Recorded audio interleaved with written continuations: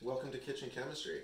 Um, we're going to start a new unit today, and what we're going to do is we're going to build off of what we talked about before, which is endothermic and exothermic reactions, which is really discussion of heat. Is heat going in or going out?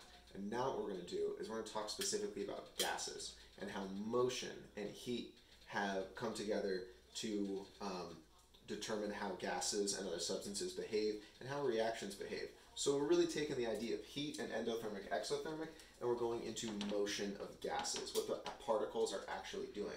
And we can use those explanations of what particles are actually doing to explain things like why does the tea kettle whistle?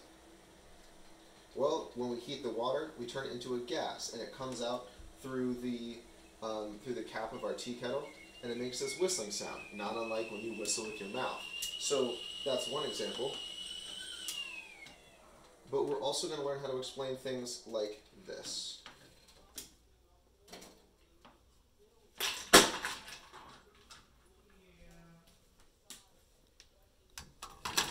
Now, what on earth just happened there? Those are the questions we're going to be answering and more in this new unit.